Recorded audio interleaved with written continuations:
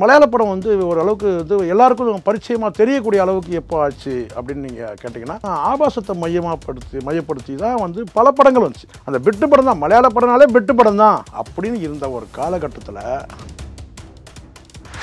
மலையா மலையாளத்தில் வந்து ஜோசப்னு ஒரு படம். அதை வந்து பார்த்தீங்கன்னா காப்பி அடித்தான் வித்தியாசமான கதை. அதை காப்பி அடித்தான் ஒழுங்காக அடிக்கலை இங்கே நம்ம தமிழ் சினிமாவில் இதுதான் இங்கே கோளாறு. சகிலா வந்து நடிச்சாங்கன்னா அந்த படம் ரிலீஸ் ஆகுதுன்னு ரெண்டு சூப்பர் ஸ்டாரும் பயந்தாங்க. இதே மம்முட்டியும் சரி மோகன்லாலும் சரி அவங்க படம் ரிலீஸ் ஆகும் வந்து பார்த்தீங்கன்னா தள்ளி போடுவாங்க. ஏன்னா அப்போ சகிலா படம் வந்து ரிலீஸ் ஆகுது. அந்த மாதிரி ஒரு காலகட்டமும் நடந்துச்சு. ஒரு சமூக நலன் சார்ந்த படம். ஜோக்கர். ஜோக்கர் மாதிரி இன்னொரு படம் எடுத்துட முடியுமா யாராச்சும்? எப்படிப்பட்ட படம் தெரியுங்களா அது? ஆனால் போலையே எனக்கு பயங்கரமான கோவம். நான்லாம் வந்து இப்போ விஜய் சேதுபதி பார்த்தா ஓஞ்சி கன்னத்தில் அரைஞ்சிடும் உரிமையோட. அவன் என் கண்ணு முன்னாடி வராத வரைக்கும் நல்லது Vijay Sethupathi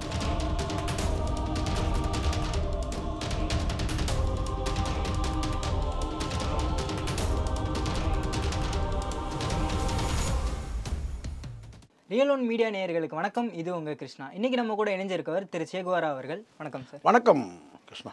சார் சமீபத்தில் வந்துட்டு மஞ்சுமெல் பாய்ஸ் அப்படின்னு சொல்லி ஒரு மலையாள படம் வந்துட்டு ரிலீஸ் ஆகியிருக்கு.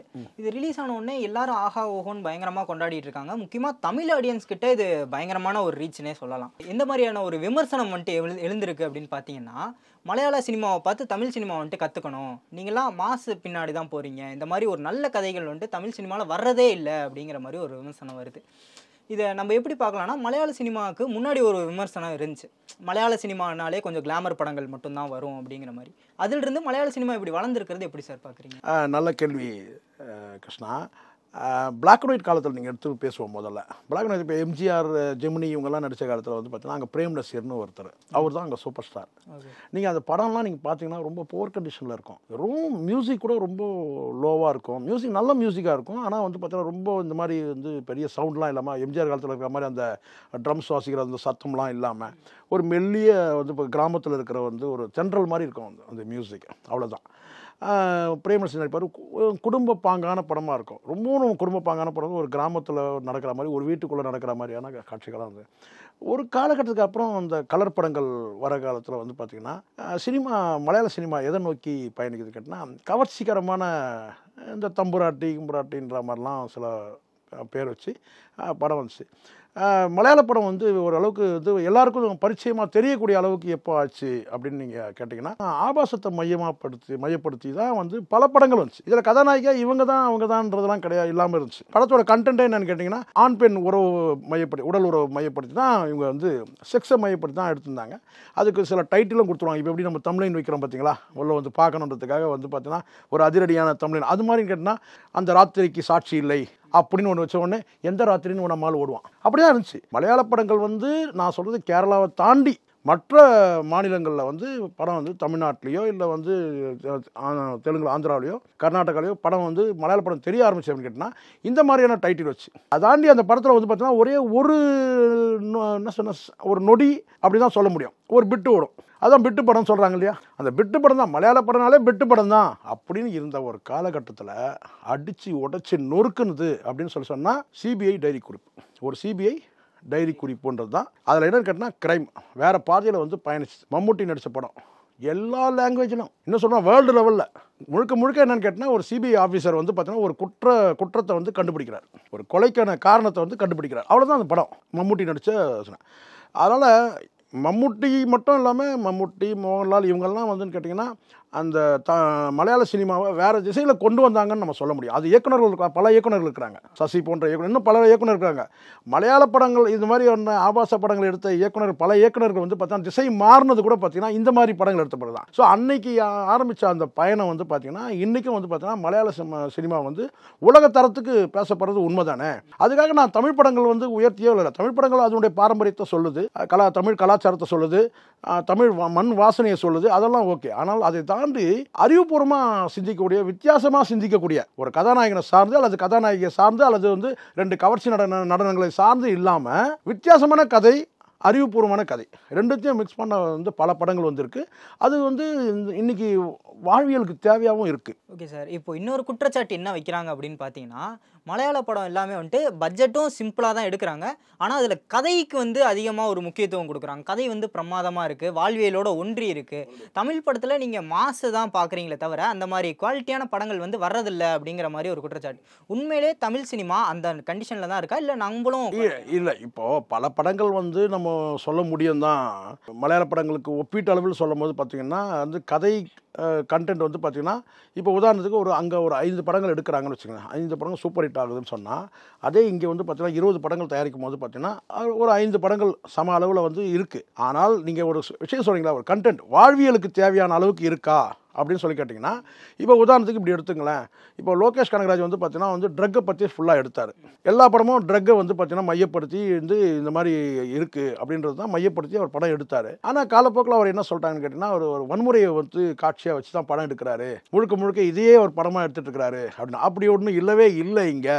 ட்ரக்குன்றதே ஒன்று இல்லவே இல்லைன்னா சொன்னாங்க. அவர் வந்து வன்முறை காட்சிகள்லாம் படம் எடுக்கிறாரு சொல்லி லோகேஷ் கனகராஜ் மேலே இப்போ வழக்கு கூட அவர் மேலே வந்து நீதிமன்றத்தில் வழக்கு போட்டு அவரை வந்து ஆய்வுபடுத்தணும். அவர் மனநிலையை வந்து சோதிக்கணுன்ற அளவுக்குலாம் ஜட்ஜ்மெண்ட் கொடுத்து போயிட்டுருக்கு. நம்ம அது நீதிமன்றத்தோட அந்த உத்தரவுக்குள்ளே நம்ம போகல ஆனால் இப்படி ஒரு பார்வை இருக்குது ஆனால் இன்றைக்கி என்னாச்சு? உண்மையிலே வந்து பார்த்தீங்கன்னா ட்ரக்ன்றது ஒன்று இருக்குது ஏன்னா கிட்டத்தட்ட ஒரு ரெண்டாயிரம் கோடிக்கு வந்து பார்த்தீங்கன்னா ட்ரக் வந்து பார்த்தீங்கன்னா கடத்தி இருக்கிறாங்கன்னு வருது இல்லையா? அப்போ இது வந்து பார்த்தீங்கன்னா நடந்தது தான் அவர் எடுத்திருக்கிறார். மலையாள படத்தில் என்னன்னு கேட்டிங்கன்னா நடந்தது இனி வரும் காலத்தில் இப்படி கூட நடக்கலாம்னு சொல்லக்கூடிய படங்கள் மலையாள படம். ஒரு எக்ஸாம்பிள் நான் சொல்கிறேன் இப்போ வந்து பார்த்தீங்கன்னா அங்கங்க உடலுடைய உடல் உறுப்புகள் இருக்குல்ல அதெல்லாம் வந்து பார்த்தீங்கன்னா வந்து விற்கிறதுக்கான மாபியா கும்பல் மெடிக்கல் மாபியா வந்தாச்சு. அப்போ வந்து பார்த்தீங்கன்னா எப்படி பண்ணுறாங்கன்றது தான் ஒரு படத்தில் நீங்கள் பார்த்துருப்பீங்க. தமிழில் கூட வந்து மலையா மலையாளத்தில் வந்து ஜோசப்னு ஒரு படம். அதை வந்து பார்த்தீங்கன்னா காப்பி அடித்தான் நம்ம தமிழ் சினிமாவில் வந்து விசித்திரன் வந்து விசித்திரன் ஒரு படம் வந்துச்சு இல்லையா? ஆர்கே சுரேஷ் நடித்த படம்.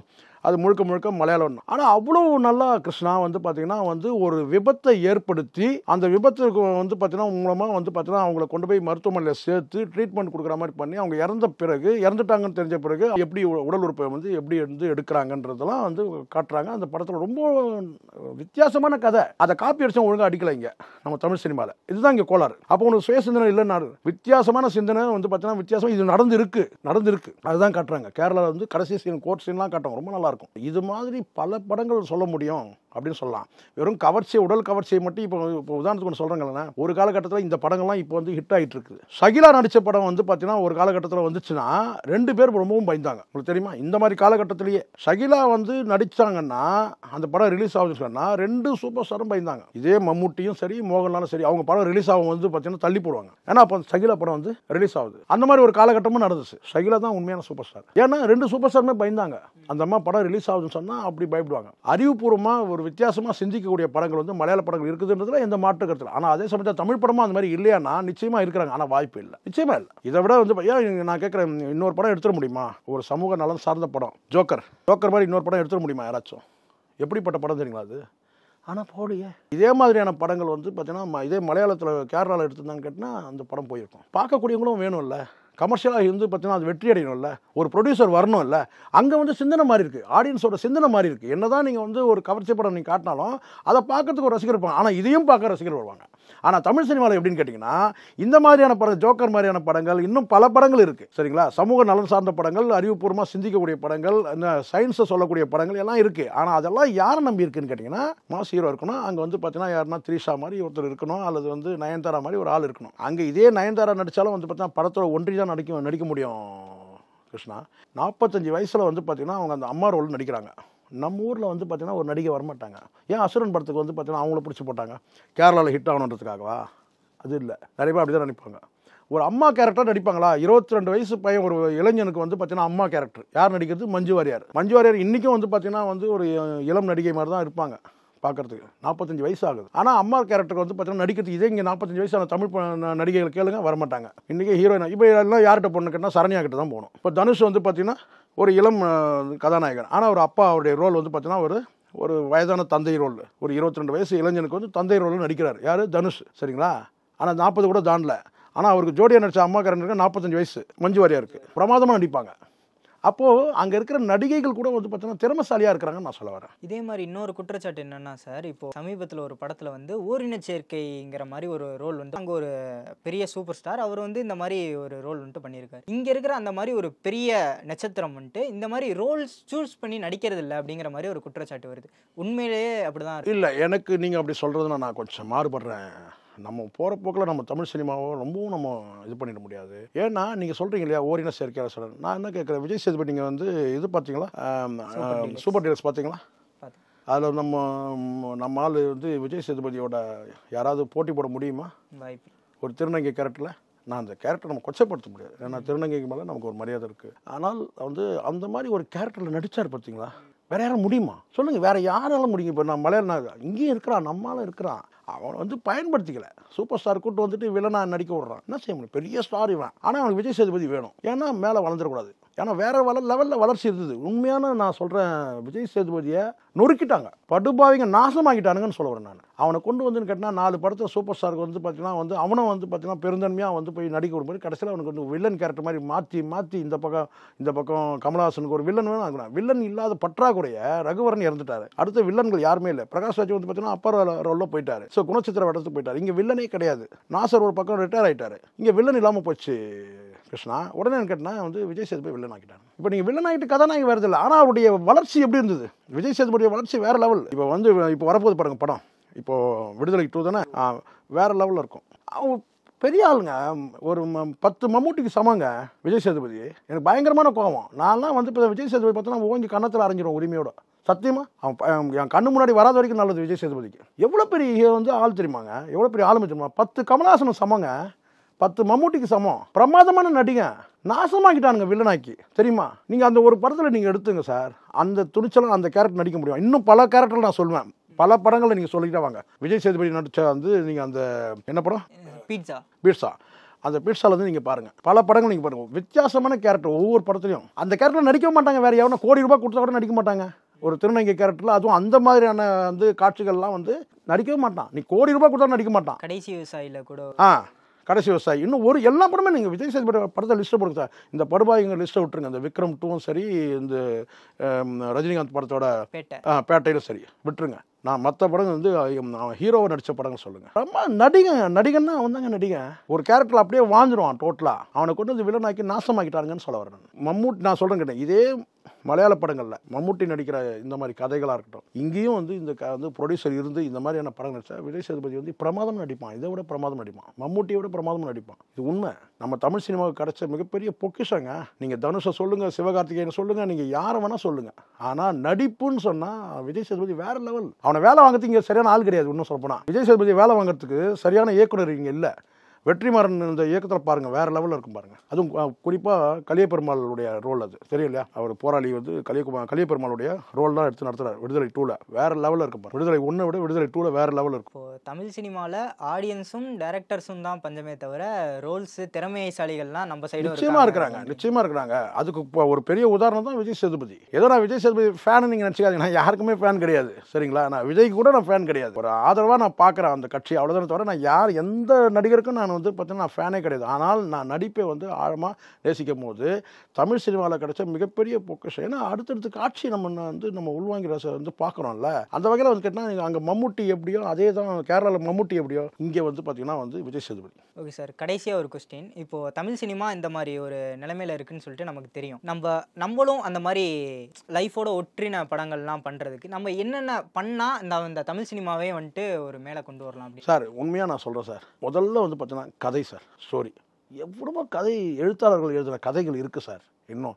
அது குடும்ப கதையாக எடுத்துங்க இல்லை எத்தனையோ கதைகள். நீங்கள் வந்து கதை நீங்கள் புத்தகம் படிக்கிற அந்த ஆர்வமே இன்றைக்கி நிறைய பேர்கிட்ட இல்லை. நீங்கள் வந்து புத்தகம் படிக்கிற வந்து சாதாரண ஒரு குடும்ப கதையாக இருக்கட்டும் இல்லை பெண் பெண்ணியம் சார்ந்த விஷயமா இருக்கட்டும் அல்ல காதல் சார்ந்த விஷயமா இருக்கட்டும் இல்லை கிரைம் சம்ம சம்மந்தப்பட்ட விஷயமா கூட நீங்கள் ஒன்றும் இல்லை சார். நீங்கள் கிரைம் சம்மந்தமாக இவங்க எடுக்கிறாங்களே இப்போது இவங்க நான் கேட்குறேன் ராஜேஷ் குமாரோ ராஜேந்திர குமாரும் பட்டுக்கோட்டை பிரபாகரும் எழுதாத கிரைம் படமா சார் இப்போ எடுத்துகிட்டு போகிறாங்க நான் கேட்குறேன். நீங்கள் படிச்சிருக்கீங்களா தம்பி? நீங்கள் வந்து பார்த்தீங்கன்னா அதெல்லாம் அது அவங்கெல்லாம் காலம் முடிஞ்சிருச்சு. வந்து இந்த கிரைம் ஸ்டோரி எழுதி நீங்கள் அப்படியே படம் ஓடும். நீங்கள் கதை படிச்சா படம் ஓடும். அந்த மாதிரி வந்து பார்த்தீங்கன்னா வந்து கதைகள் கொண்ட படங்கள் வந்து இல்லை கிரைமில் இருக்கு. அதே மாதிரி காதல் சார்ந்த படங்கள் வந்து பார்த்தீங்கன்னா எவ்வளோ எழுத்தாளர்கள் வந்து பெண் எழுத்தாளர்கள் இருக்கிறாங்க. குறிப்பிட்டு கூட நான் சொல்லணுன்றது கிடையாது.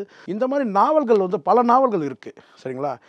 பிரபஞ்சன் எழுதாத புத்தகமா? பாலகுமாரன் எழுதாத காதல் காவியமா? எவ்வளோ இருக்குது சார். ஆனால் இவங்களுக்கு வந்து கேட்டால் புதுசாக அந்த மாதிரியான கதையில் வந்து படித்து அதை எடுத்து உள்வாங்கி எடுக்கிற அளவுக்கு இங்கே நிதானம் இல்லை. இன்ஸ்டண்ட்டாக ஒரு கதையை ரெடி பண்ணிக்கிறானுங்க. உடனே தட தட தடன்னு ஒரு படத்தை முடித்து முந்நூறு நாளுக்குள்ள சார் முப்பது நாளுக்குள்ளே ஒரு படத்தை முடிச்சிடணும். இல்லை மூணு மாதத்துக்குள்ளே வந்து பெரிய பட்ஜெட் படமா மூணு மாதத்துக்குள்ளே முடிச்சிடணும். கதையில் வந்து ஆனால் மலையாள படம் அப்படி இல்லை. முழுக்க முழுக்க அவங்க வந்து பார்த்தீங்கன்னா கதையில் தான் ஃபஸ்ட்டு அவங்களோட கவனமே கதையில் இருக்குது இங்கே வந்து அப்படி கிடையாது. இங்கே முதல்ல ஹீரோ யார்? ஹீரோயின் யார் முடிவு பண்ணிடுறான் அதுக்கப்புறம் அவங்களுக்கு தேவையான வந்து படத்தை வந்து பெரிய ஹீரோய்களுக்கு ஏற்ற மாதிரியான கதையை உருவாக்குறான். அதில் நாலு பஞ்ச் டைலாக் வைக்கணும் ரெண்டு வந்து பார்த்தீங்கன்னா ரெண்டு காட்சி இப்படி வைக்கணும். அப்படி தான் முடிவு பண்ணிட்டு போகிறாங்க ஆனால் கதையில் வந்து பார்த்தீங்கன்னா ஆழம் முழுக்க முழுக்க ஒரு குற்றச்சாட்டாக வைக்கிற ஒரு முழுக்க முழுக்க ஒரு வந்து ஒரு கதாநாயகி கதாநாயகனையும் கதாநாயகி சார்ந்த படங்கள் தான் வந்து இங்கே எடுக்கப்படுறாங்க எடுக்குது.